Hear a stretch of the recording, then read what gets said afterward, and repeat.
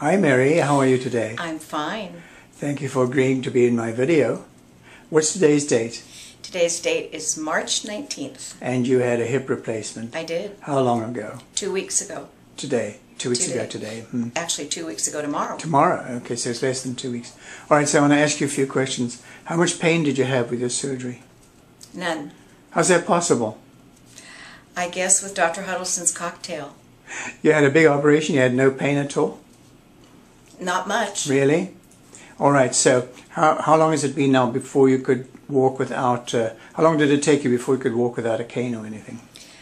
Pretty quickly. Um, I was on one crutch Uh-huh. and then kind of let that go for a while Mm-hmm. and then went to a cane.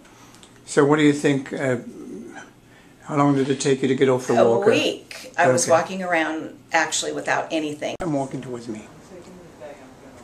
Very nice. Beautiful. Thank you so much, Mary.